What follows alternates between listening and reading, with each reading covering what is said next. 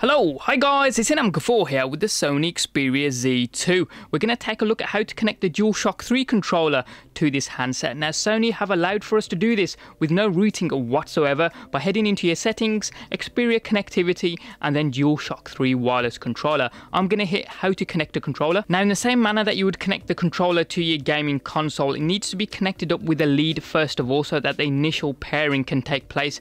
So grab the cable that came with your console and plug the one end into your DualShock 3 controller and the other end of that cable needs to be plugged into this USB on the go cable. Now this only costs a couple of pounds here in the UK and a couple of dollars in the States. As ever, I'll try and leave a link down in the description down below if you're after one.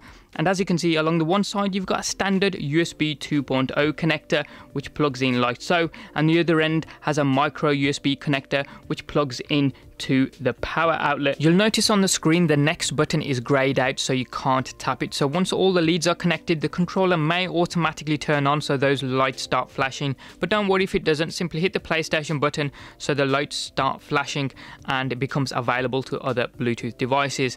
Now in a perfect world, the next button should automatically become available once that controller starts flashing its lights. So if it doesn't, all you need to do is just make sure the leads are all connected in to your handset and working okay. As you can see, mine wasn't because that next button is now available to hit. So I'm going to hit that and it says disconnect the USB adapter cable. You can now play wirelessly. Once paired, you can use it at any time by pressing the PlayStation button on the controller.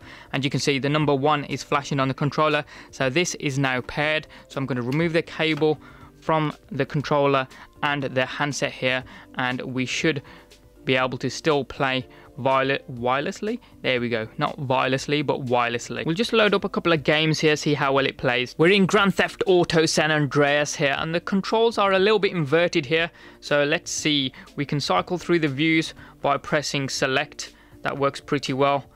And the right analog stick is rotating the camera angle there and let's see what the R1 and L1 L1 gives you the health status and there you go. The R2 and L2 cycle through the weapons. Let's see how easy it is to shoot. X to shoot maybe? No. Um, okay, triangle to shoot. And as I say, buttons are a little bit inverted. Triangle doesn't get you into a car. It looks like it's circle. So let's see if we can go forward. No, X doesn't get you forward. Square does because as I say the controls are a little bit inverted and I haven't figured out a way of mapping them correctly because there doesn't seem to be an app as standard which allows you to do so. But hey ho, the gameplay is pretty awesome though. The controller feels right at home with this classic retro game being Sonic the Hedgehog from Sega and controls work natively as you would expect with no messing around whatsoever.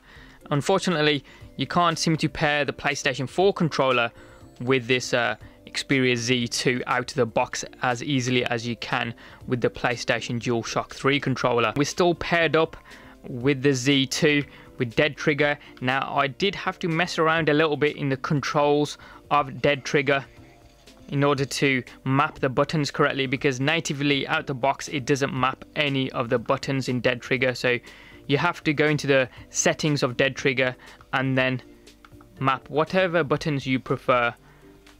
And it plays really good to be fair I gotta admit it does play really really good for a first person shooter and there we have it guys that's how easily you can connect your DualShock 3 controller with your Sony Xperia Z2 smartphone. As ever, any comments or questions you guys have got, hit them up in the comment section down below there. Give us a thumbs up if you like this video and you like what you saw. And if you found it informative, then please do give us a like. And if you haven't yet done so, hit subscribe. It's just down there. It doesn't cost you a single penny. And you can always check out some of our forthcoming videos. Thanks for watching. Have a wicked day. And we'll see you next time.